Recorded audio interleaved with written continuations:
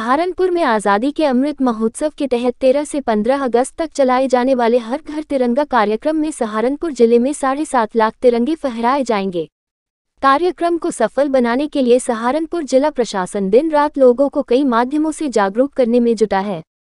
साथ ही तिरंगे झंडे बनाने का काम भी युद्ध स्तर पर चल रहा है। सहारनपुर में कई जगहों पर तिरंगे बनाए जा रहे हैं।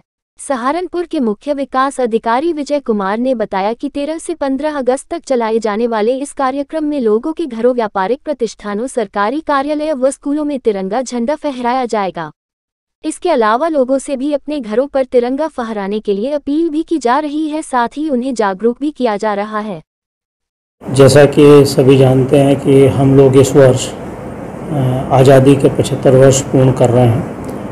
तो इस उपलक्ष्य में जो आज़ादी का अमृत महोत्सव चल रहा है, उसी कड़ी के रूप में दिनांक 13 अगस्त से 15 अगस्त तक हर घर तिरंगा फहराया जाना है।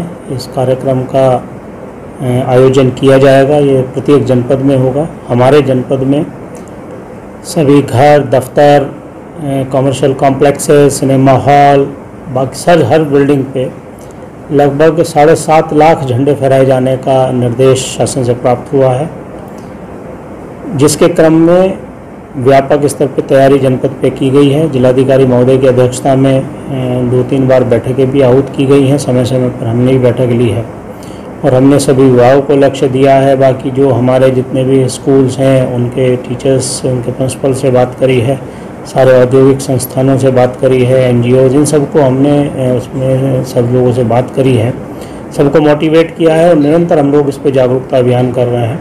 झंडों की उपलब्धता सुनिश्चित करने के लिए हमने अपने सेल्फ हेल्प ग्रुप्स और कुछ प्राइवेट लोगों को निर्देश दिया है झंडे निर्माण का।